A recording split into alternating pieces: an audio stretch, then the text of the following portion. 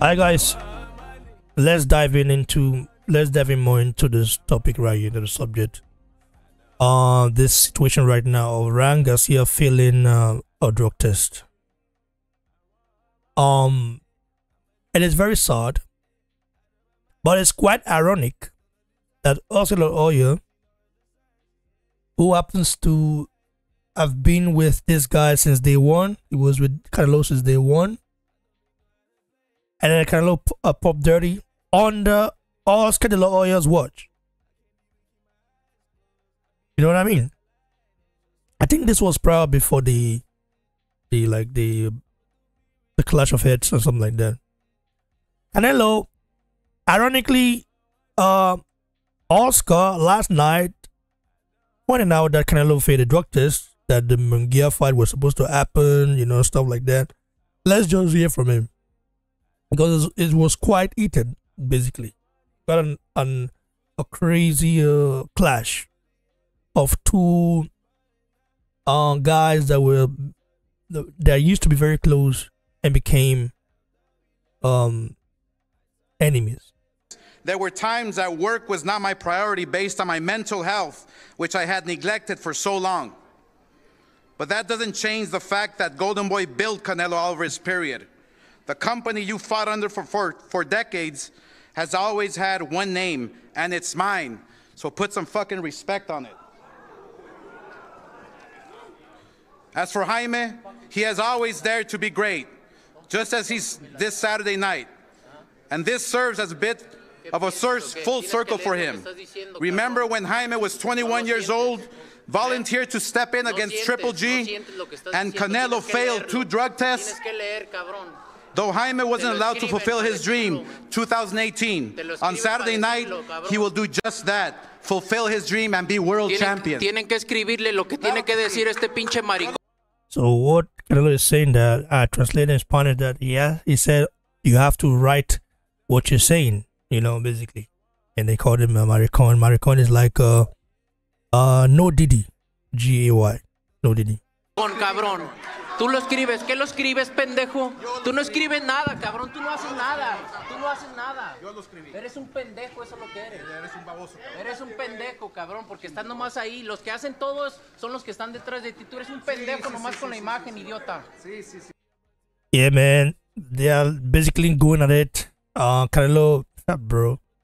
It's so funny that Canelo is calling uh, Oslo yeah, pendejo, bro. They, this guy used to be very close. Man, humans are very strange. And it is quite unfortunate that humans sometimes we don't get along.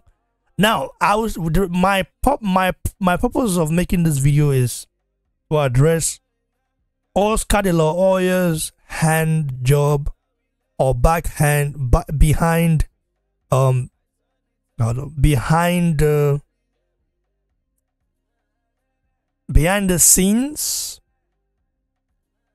of behind the scenes act bad heart of his.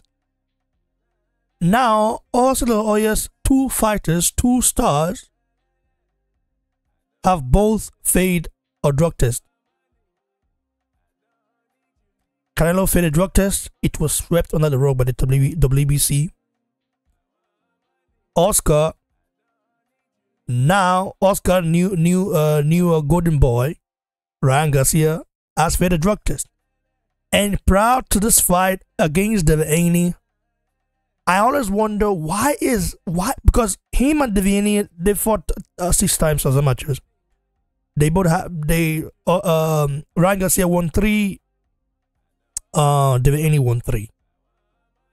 But I always wonder, like, why was Ryan Garcia so confident? Why was he so calm before the storm? Why was he so, so like, it was even, this guy was so calm. Like, you could, you, I was like, damn, this must, this confidence must be out of this world.